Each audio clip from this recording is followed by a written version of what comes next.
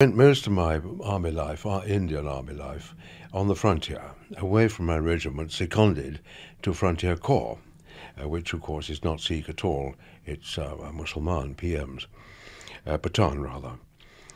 And at the end of my tour there, I was naturally, as, as things go, I was then posted back to my regimental centre, which was at Nowshera at that time. And there I met uh, Tom Dykes, who was the second in command, uh, second to the commandant there. I hadn't met Tom before. Uh, I knew he would he'd been in the fourth battalion. I'd heard about him, and there they were. We lived close to them. Uh, they backed upon our, our bungalow compound, and there we were uh, at that time.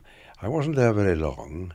I didn't get to know Tom well. I wasn't actually working with him or near him. I knew him because he was a, a member of the centre, but my work took me away from from his work to a great extent. What did he look like? Tom, erect, uh, soldierly, of course, uh, very strict in his manner and his work. He didn't suffer fools gladly. Uh, I, what little I knew of him, uh, wasn't altogether too happy because on one occasion he, uh, I met him when we were out walking one afternoon in the evenings. We used to walk round. It was very hot, of course, at that time, and the order was that one should wear a certain dress which kept, which avoided mosquitoes, those long trousers, for instance. Well, I'd been out some time, and I still had my shorts in from uh, my shorts on from um, the morning's uh, exercises, and he took exception to this, and we, uh, I didn't, of course, dare answer him back. He was not, in fact, uh, a rank senior to me, but uh, when he was second in command, and you don't uh, naturally argue with such people. It doesn't do your report any good. Anyhow, that uh, came off all right, and I understood what the trouble was, and uh, uh, that was more or less our first meeting, and so uh, we didn't have very much conversation after that. I knew him from a distance, tallish. Uh, as I was, as I said, very strict in his, in his interpretation of of, of, of uh, what should be done each day. Um, came from the 4th Battalion and had been involved with the 4th Battalion in their fighting in various theatres. Uh, very good at that, very good reputation. He served uh, in Burma, I think. I beg one. He served in Burma. Uh, yes, that would have been in. If you said he, he did, in fact, I think that's so. Now, the Fourth Battalion didn't actually go to Burma; they were in the Middle East the whole of the war. But it's quite possible that he happened to be moved to one of the regimental battalions in Burma because they may have been short of officers and they wanted uh, an extra officer perhaps of his kind of age and seniority. And that's frequently happened. We moved about. Within our regiment, we moved about between battalions quite a lot. I re- yes. If at almost your first meeting he reprimanded you for a very minor misdemeanour. It does suggest he wasn't a, a great people person. A great people person. He wasn't somebody who, who people warmed to. Uh, well, I don't think. I think you're right there. Um, I don't trust my own feeling in that respect because I was being reprimanded. Well, naturally, I felt, uh, as one would, a slight animosity at uh, being called to attention not in the presence of many other people. In fact, Marguerite was the only other person who happened to be there at the time. Had there been others there, I've no doubt he would have perhaps moderated and sent for me the following morning to say, look here, you shouldn't have been dressed in that way. Yes, I, I think perhaps that is so. He was um, a rather severe man, perhaps, in those ways. Can you give me any idea of why a young man such as yourself or Tom Dykes would wish to enroll and become an officer in the Indian Army in the late 30s? Uh, yes. In Tom's case, I don't know, but obviously he was well fitted for the profession that he had chosen. I, I don't know whether his family had been involved with the army or Indian army or any other military occupation before. In my own case, I was always from boyhood keen on the military side. I'm uh, an enthusiastic member of my officers' training corps school. And I happened also to have friends from school days who'd gone on, older friends, who'd gone on to the Indian Army, and they had known my elder brothers, and they'd come to home, to our home, to stay during their leave and that kind of thing. And they both um, had uh, had said, "Well, look, if you uh, if you're really rather doubtful about what you want to do in life, um, and you're keen militarily, well, come along and join our regiment." I didn't, in fact, in the end, join the regiment of either of theirs because at Sandhurst I was persuaded to go to um, the Sikh regiment. Why? Uh, sorry. Why the Sikh regiment? Well, um, the one of the instructors uh, at Sandhurst, all the instructors, except the very senior ones, were drawn in for a period, uh, a tour with at Sandhurst as instructors. And it happened that there were one or two from the Sikh regiment at that time. And I was sent for one evening by one of the majors, who was an instructor, um, a Sikh regiment. He said, um, "Well, now, um, what regiment are you going to?" So I said, "Well, I'd thought of the, I was having, I thought of the Queen's Regiment, Queen's Royal West Surrey in those days, because I happened to live in Surrey and I knew where their barracks were and one thing and another." Uh, or perhaps um, I might think of going to Gurkhas. And he said, Well, look, why don't you think about the uh, Sikh regiment? And that's how it started. What was life like in Nowshera in the spring and summer of 1947, your last few months in India? I think probably very much as it had been before, but rather more hectic because people were coming and going fairly quickly. It was the end of the war, uh, the partition was on the way, and a number were getting ready to go home. More were coming in for posting to various other places, but there wasn't much posting going on for the British personnel because, of course, we were all then at our age, which would be about 26, 27 then, we were all going to be shot back home again. Well, you say you were all going to be shot back home again, and you came back, I think you were saying in July 1947. But Tom chose to stay on. He was still there and still inactive, well, still a, a member of his regiment in October when he was killed. Why would hmm. Tom have chosen to stay on? Well, it's probably what he opted to do. And not all British officers came back at the same time because they had, of course, uh, positions in their various regiments, and those positions had to be filled by Indians. Now there was a shortage of India trained officers, Indian trained officers. However, that was being um, that was being gradually uh, put right, corrected. That um, and so some officers stayed on rather longer than others, depending to a large extent upon their age, I think. Those of my own age, about 27 at the time, uh, we were, uh, we could be, uh, our slots could be filled quite quickly. So we didn't have to wait around. But those who were older did wait for certain longer for some suitable Indian to take their position, or in some cases they were offered uh, short contracts, one, two, three year contracts to stay with the Indian, stay with their regiment, uh, and then uh, could choose then when they wanted to go home. And Tom, uh, being good reputation, well reported on, I don't know whether he was uh, asked to stay or offered to stay, but he certainly did stay a bit longer. Mind you, uh, the difference when he was killed, what was October, what, October 47? Um, that was only really about four or five months after we'd gone. So it's not altogether uh, a very long time to stay on. Do you remember hearing about his death? Yes, but it wasn't till later. Uh, I don't know why. I really, I really can't recall exactly when I did hear about this, but I don't think it was while I was at while I was at uh, Nowshera. I think it's we had gone. We knew we'd, we, uh, as I said, we'd gone already, and it must have been in UK that we heard about this. But doubtless, I think probably uh, probably Marguerite will be able to tell you more about that. The first Sikhs spearheaded the Indian military operation in the Kashmir Valley, trying to repulse the raiders, and indeed the the spearhead of their uh, military operation were killed near Baramulla within hours of Colonel Dykes. Did you hear any speculation among former members of the regiment about exactly what had happened? No, I don't. I've heard nothing about that. There's a certain amount being written about it, and it does appear that uh, maybe there was a certain amount of confusion.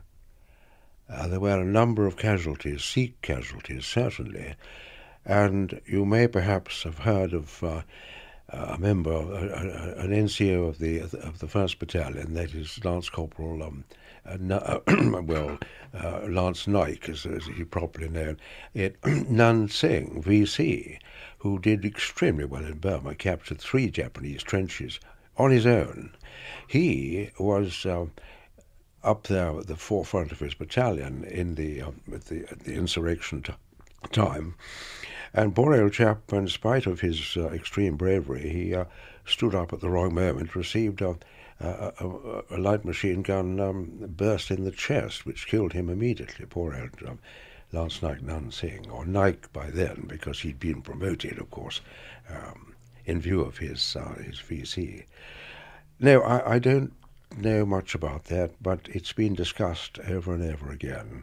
But I think there may have been perhaps a little bit of confusion at that time. Mrs. Suter, when did you meet uh, Biddy first?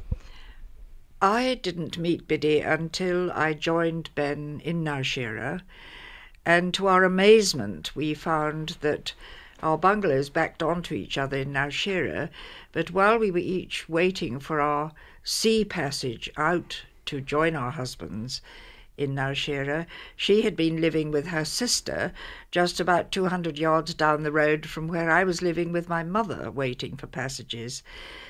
And so we had a lot to talk about, and we laughed about it so much because Biddy went out with two small children, which must have been quite a, a difficulty for her with no help.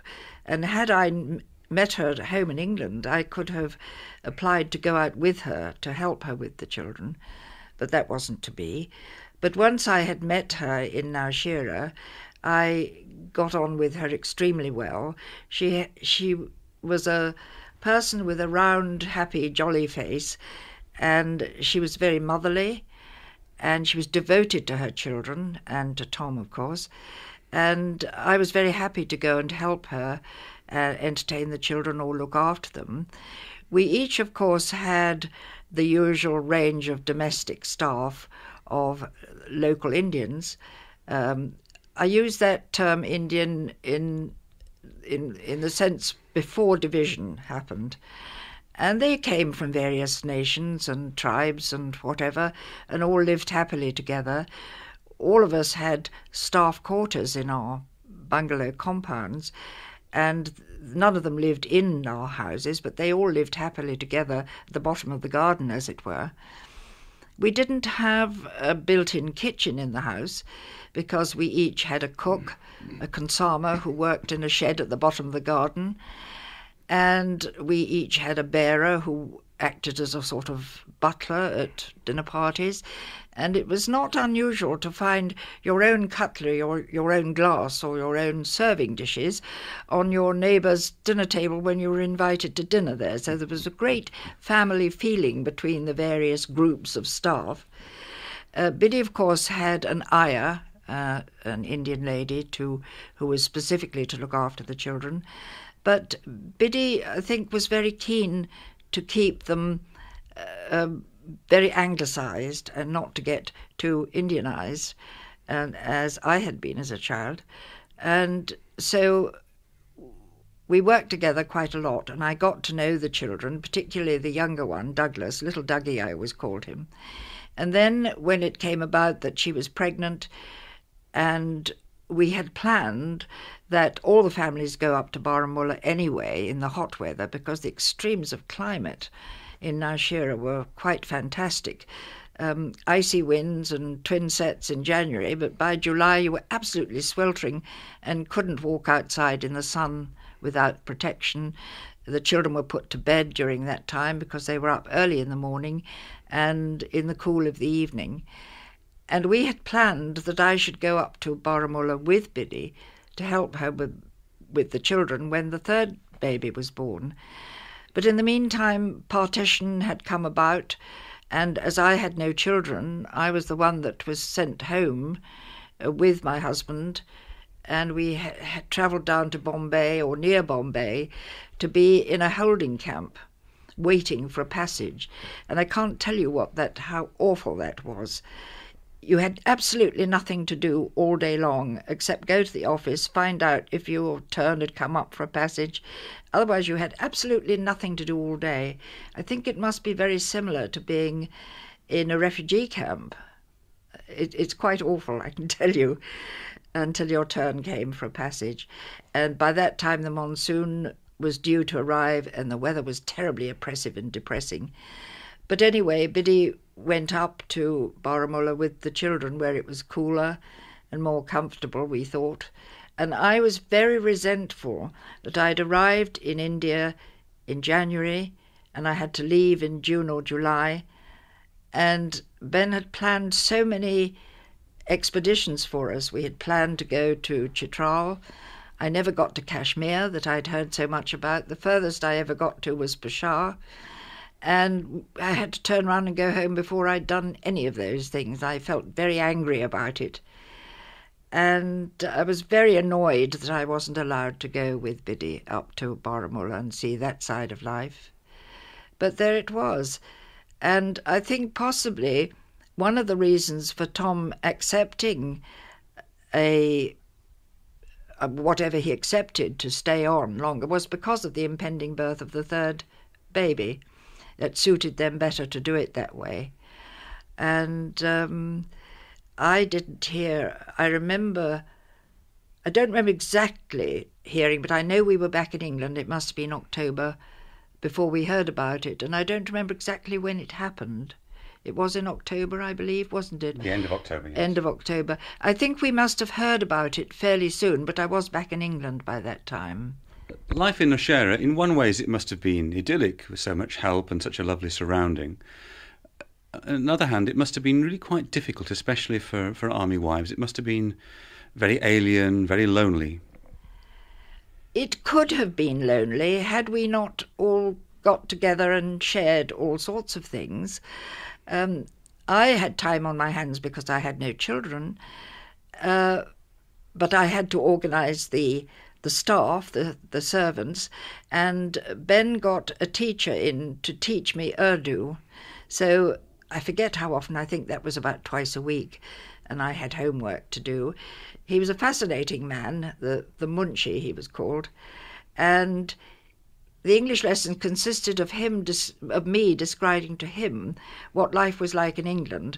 One of the things he could not understand was the underground system in London. Where did the air come from, and all this sort of thing. And that was how I learnt what Urdu I did learn.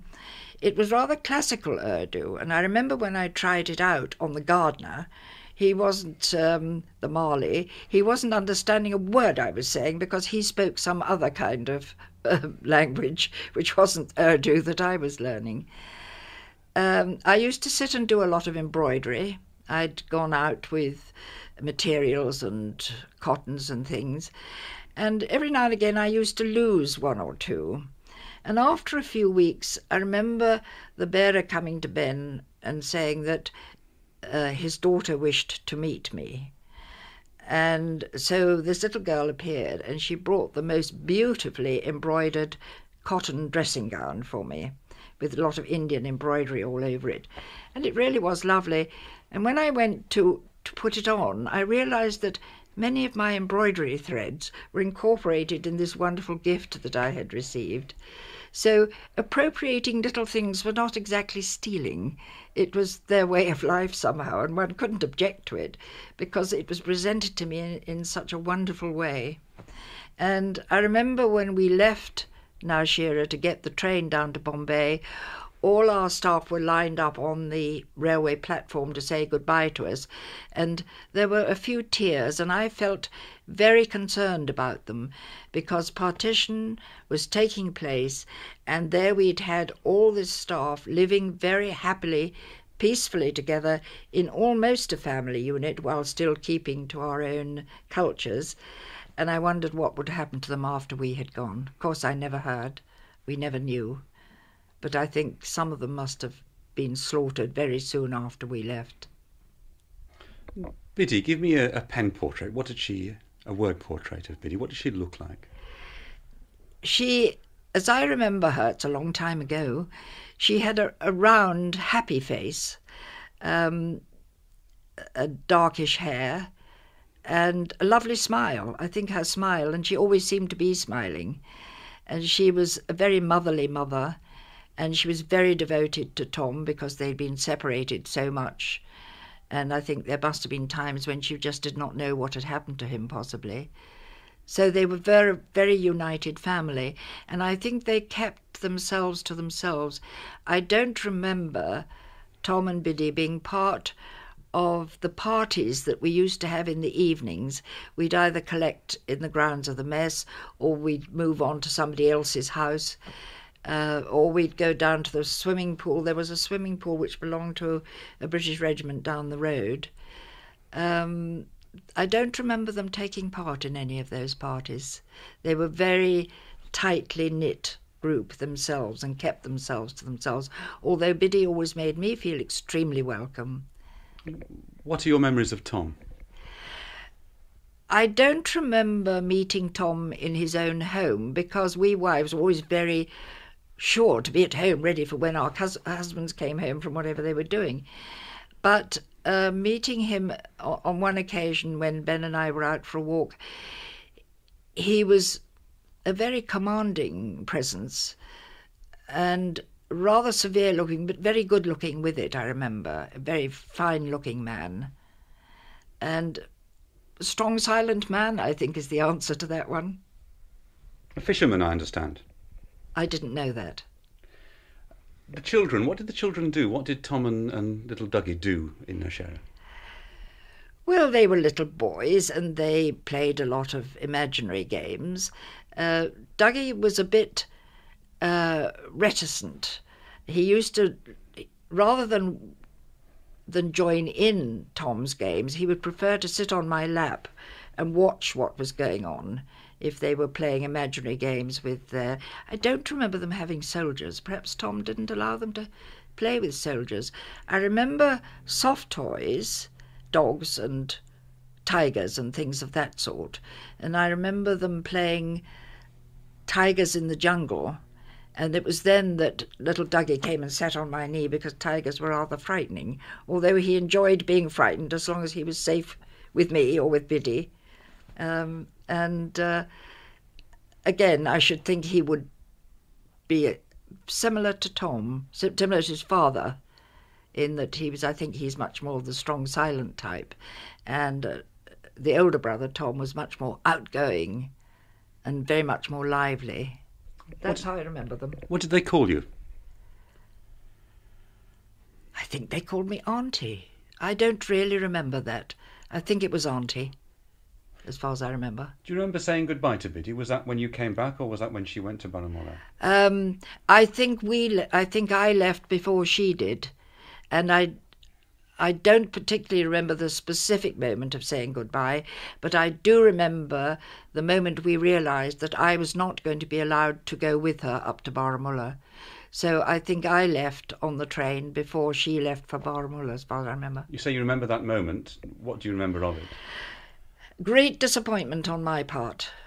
And I don't know what Biddy felt. Perhaps she was a bit sorry that she wasn't going to have my companionship of the similar sort of age.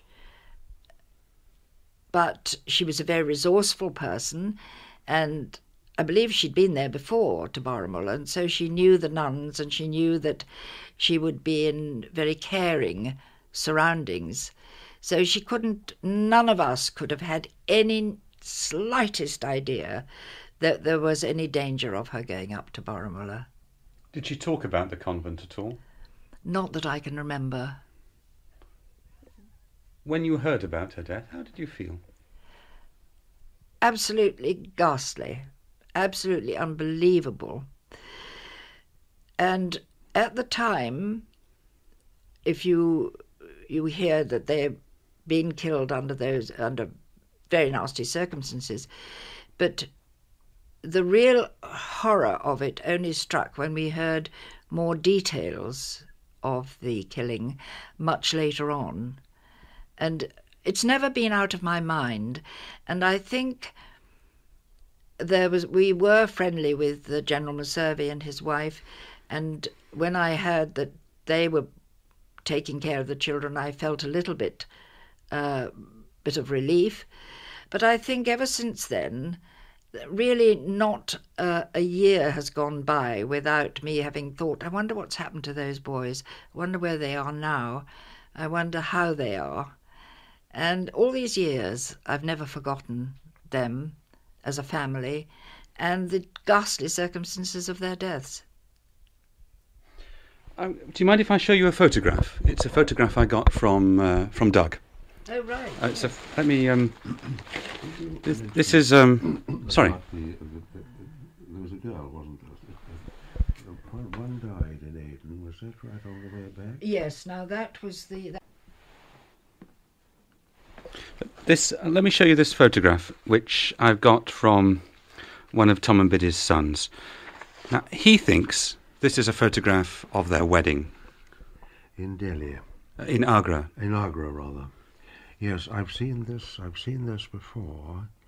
Um, Is that Tom? yes, I would say that was on that's Biddy. That's Biddy. and there's Biddy. Yes, a little, little, and a round face, dark hair,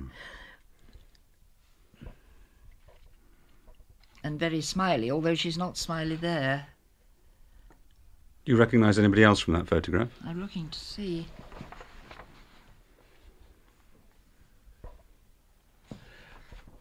Now, Thomas Best Man,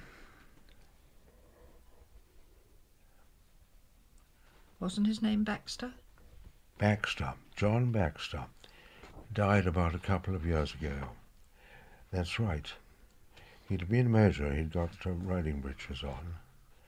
I'm, um, I'm a bit, um, at the moment. Ah, that's Thank that's you. the one for you.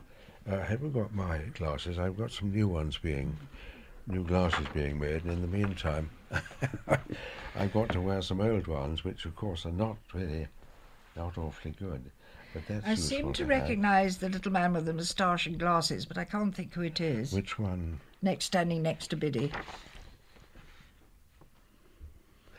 I, I can't focus at the moment until I got these things. Thank you. Thanks ever so much. Let's have a look and see. This part will will will will do for the time. That's better. Do you like that? Ah, that is Baxter. Oh, that's Baxter. Is it? This is. I don't know. I don't. re- You see, I had what nearly five years away Yes. uh, from my regiment on the, um, on the frontier. Which is Tom? Tom is there, and his best man. Yeah. Baxter with the moustache. Yes, that as far as I know, um, I would say probably that that would be Baxter. That one, but and this is a younger. This is a younger man, but I don't know who that might be. I'm not. I, I don't didn't know Baxter well, but I'm pretty sure that that is he. Now, Tom comes across as very tall. He must be what six one, six two. It I looks like him that. being very tall. Yes. And Biddy, even though she seems to be wearing high heels, looks about five one, five two at the most. yes, she does. That's right. Yes, I'm five four, so if Hmm. I thought of her as being small, she would have been about five one You see, there's somebody behind who is European. Two or three. Two of them, two ladies. There must have been some of Biddy's contemporaries there that we wouldn't know. Did she ever talk about how she met her husband? No, I, I don't remember that we ever discussed that. Doug told me an intriguing story about how she was a nurse and she deliberately fell off her bike and exposed her legs, which were apparently rather shapely, to attract Tom's attention. She never told you that story. Yeah, no, that's, that's, that's, I don't know that story.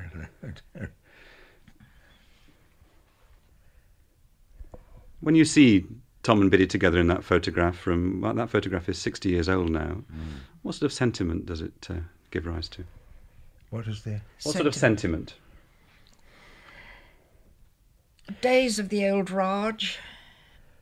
Typical of the old Raj. Typical, because my family were all, uh, my both sides of my family, both my parents.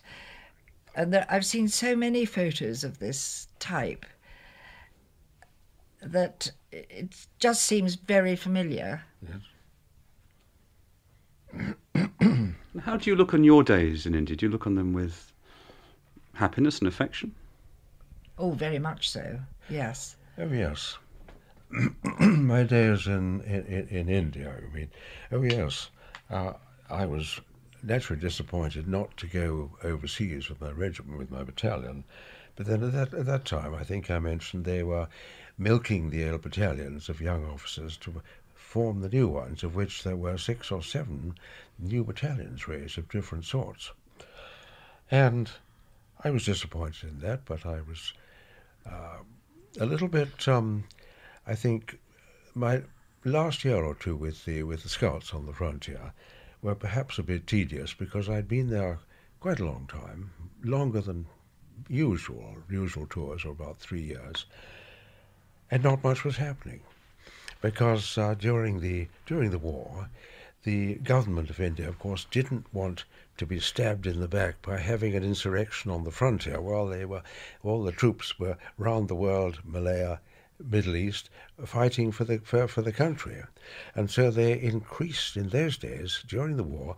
They increased uh, tribal um, money paid to tribes, not to cause trouble. Uh, you might call it, you may remember in ancient history, uh, Danegeld. The Danes were paid not to come and invade England. This was the, so exactly the, uh, the, the, the equal idea. And you were dealing with people like the Fakir of Ipi and people of that sort. Uh, that's right. Because Ipi was then a back number. He had been, just before my time, he had been right at the front of insurrection. But he was a bit of a back number then. And we didn't see him. Um, the extra money paid by the government kept the kept the, kept the, the tribes fairly quiet. And after 1941-42, there was very little trouble there, except for the uh, the odd um, meeting, the odd bit of sniping going on. Really a little bit boring. Nothing like pre-war, of course, where it was a, a very good, the frontier was a very good training ground for regular battalions of the Indian Army. They were sent up kept moving round, the cycle kept moving round, and there they got their frontier their frontier warfare uh, initiation. Did you ever go to Kashmir? To Kashmir? oh yes, several times. Always on holiday, on leave. It was from the frontier. We nearly all of us went straight on to Rawalpindi, uh, take a taxi, Indian taxi, up to Kashmir, and stay in the, the, the well-known Nedou's Hotel there, you may have heard of. I understand now it's long since been burnt to the ground, mostly mostly timber, mostly made of wood.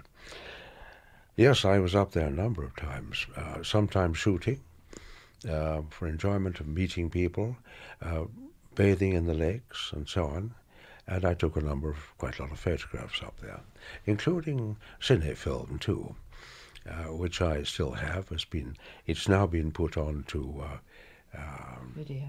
A video uh, at the by the National Army Museum. Have done that for me, and I understand that it's. It may or may not have been used for a television program, TV program, coming up later this year called uh, India India in pre-war in colour, something of that nature is coming up, and they may or may not have used some of my. They, they took all my cinefilm away, copied bits of it, and then and then gave it back to.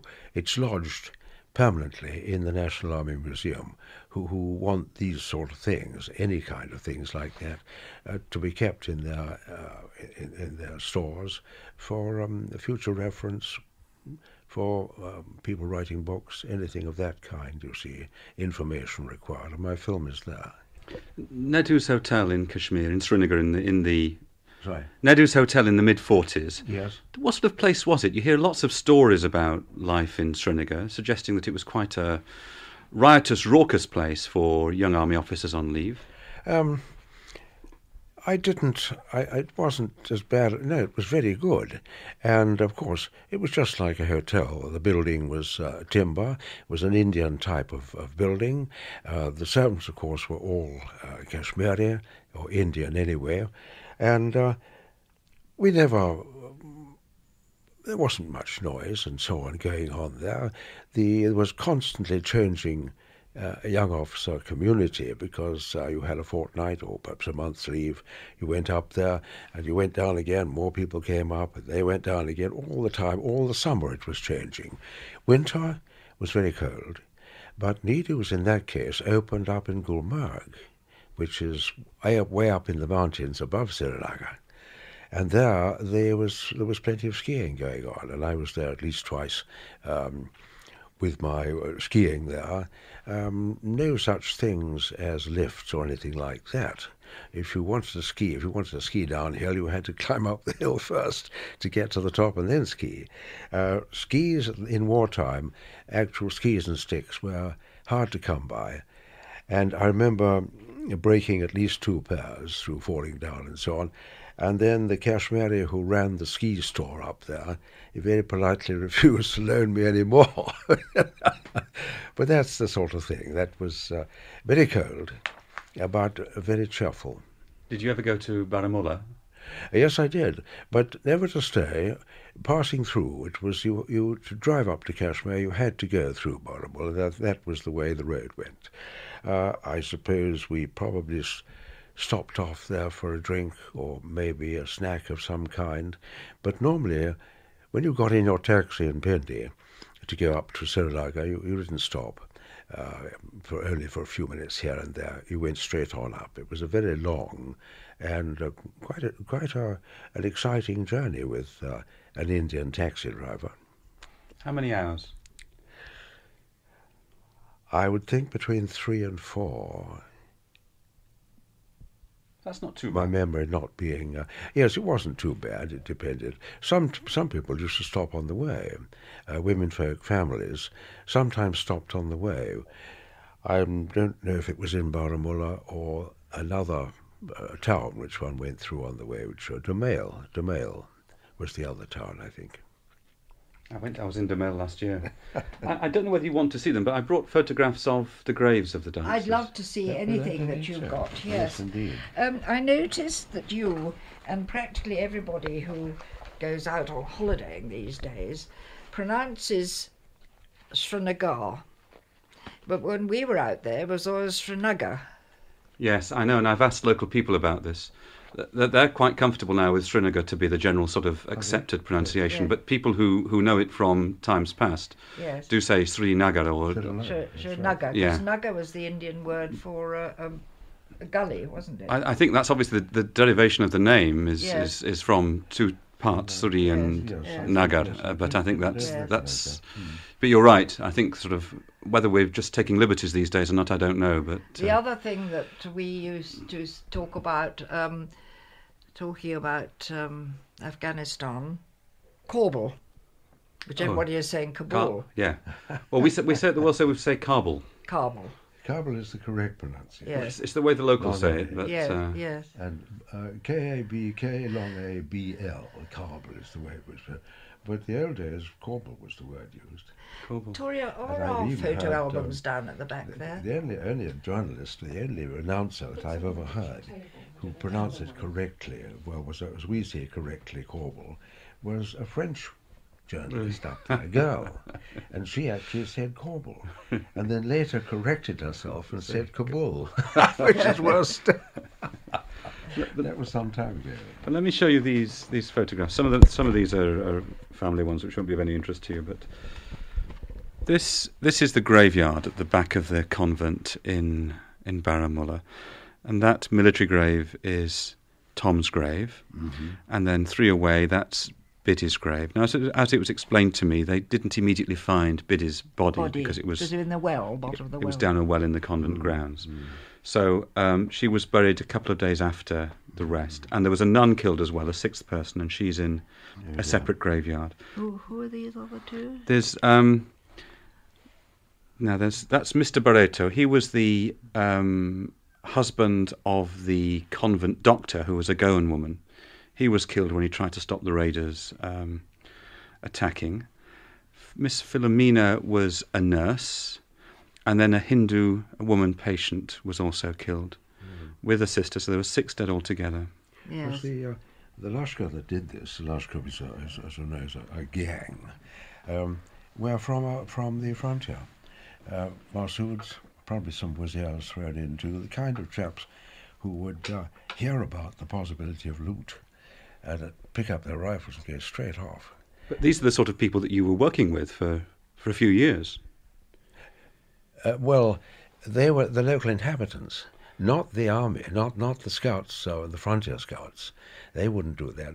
But the local, the local people who lived in Waziristan, and the same people now who are called um, Pashtuns, Pashtuns in uh, Afghanistan. They're all the same people, and they are the ones who caused the trouble with with uh, Ipi. You see. But were you based in Waziristan at all? Yes. Oh yes, in, in Waziristan is um, was divided into into territories, into um, uh, regions, and I was part of the South Waziristan. The North Waziristan call themselves the Tochi Scouts, which you probably know. The most well-known of all is of the Tochi Scouts. Then there were minor. Uh, the uh, militia, which was up on the north frontier, never had any trouble at all. And the but the locals there were Wazirs in North Waziristan and Masouds in South Waziristan, and a certain amount of mixing too, because they were all Pathan, and they spoke um, Pashto, same as our men did, but with slightly different. The accent was very much the same, but some of the they had some strange words which were interesting, and we came across these. Did you know Frank Leeson, who was Yes, yes, not there, not in, uh, not not up there, because he started uh, his tour up there with as uh, a, a, a Khassadar officer, as he was called, a very interesting uh, occupation. Uh, that started just at the time when I was leaving Scots to go back to my regiment again. So I never actually met him up there. But since then, of course, he has written accounts, which I've read, and I've met him first uh, last year. Uh, and he has, I've got a book of his, uh, he's lent me here his, uh, his diary, illustrated diary of his time there. And I also found out that he was commissioned uh, originally into the Sikh regiment. But in fact, he'd volunteered for the uh, frontier job almost as soon as he joined his the, the regiment, so we never knew him there. I knew him because I, he happened to be up there at the time, although I never met him, and I've seen him since. And we are in contact with uh, with Franklin Francis, properly, in fact, his name, uh, and uh, I hope he's coming to our reunion lunch in October again. So he's both a member of the Scouts reunion group and also the Regiment of the Sikhs as well. And which is the reunion? That's of the Scouts or the Sikhs? The the the the place. Um, the, the, the reunion you mentioned in October is that a Scouts reunion or a Sikh now that there are two, and they're both in October.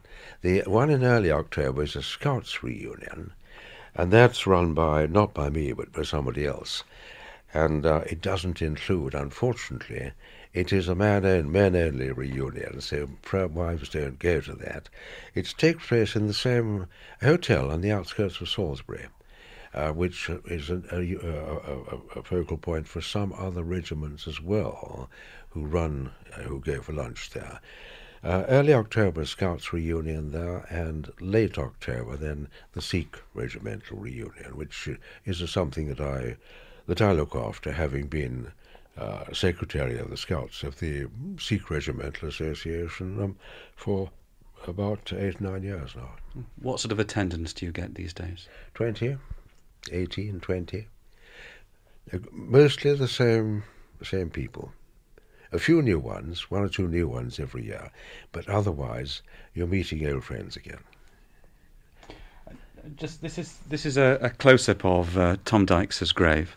You can see the uh, the inscription there, and it is actually listed as a war grave. It's the only war grave, British or uh, Commonwealth war grave in in Kashmir. Oh, that says also his wife Biddy there. Yes, though in fact she's she's buried just a, a couple Well, of maybe graves they away. didn't find that was written before they've discovered her. I think that because it was a war grave, they wanted to mention her on the official war Right, grave rather than just leave it to the uh, the informal grave that was put up. Uh, so his wife Biddy uh, Yes. Um, would you? I mean, you've got up. We're only relying on on memory. Um, would you recount the actual incident of the death as you've discovered it? Yeah. We started the thought by saying what you thought the purpose of the Masouds and Waziris going to Kashmir would have been in their own mind. Um, yes, this was uh, this was a lashkar of looters. Uh, a lashkar being a, a, a gang or um, or party on the warpath, and they would be in search of loot. They would be Masouds, Wazirs, and other badmashes. That's bad lots, as you might say, from the frontier.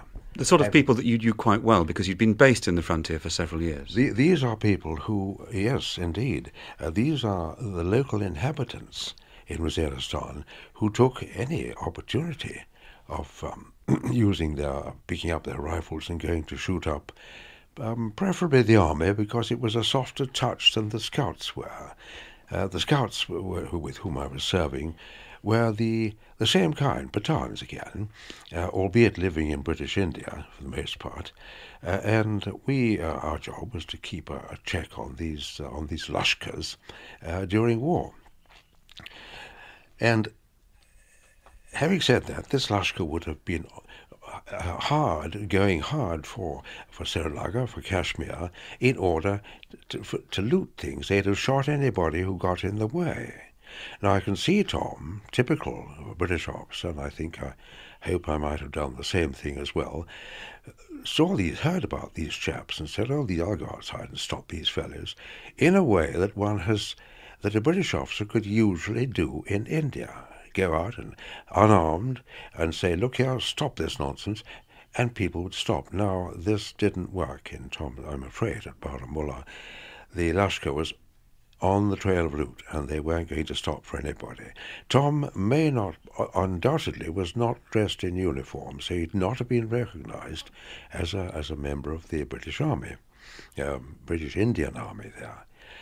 And you can see these uh, Lashkar, a lot of young chaps, um, very enthusiastic and with their, their arms in their hands, and any one of them, possibly more, would have upped his rifle and shot him on the spot. I understand they, they were shot mostly in the stomach, that's to say, probably shot quickly and um, um, disposed of at once because they were seen to be in the way. And that's, I think, probably in Tom's mind. I will behave as a British officer, and I'll go outside and talk to these chaps and, and, and get them stopped. And it, well, it just didn't work in that case. What would the Masood and Waziri's attitude of, to women have been? Especially Western women. When they came across Western women, what would their attitude have been? Probably leave them aside because they were not. They didn't normally shoot women unless it happened that uh, uh, that woman, if any, would, was trying, was opposing them in some way. Well, Biddy obviously was not doing that. In this case, she went out because she had seen her husband harmed, and she went out to, to go to his side. And they, just having shot Tom, uh, probably may have thought that she was uh, opposing them in some way, or just because she was in the wave, of, loot, uh, shot her at once.